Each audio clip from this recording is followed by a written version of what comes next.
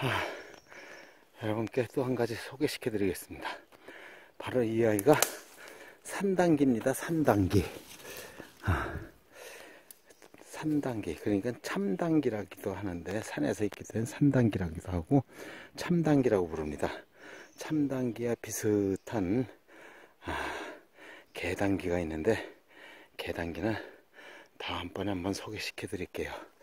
이 잎사귀는 아, 이렇게 어린 순을 따서 먹으면은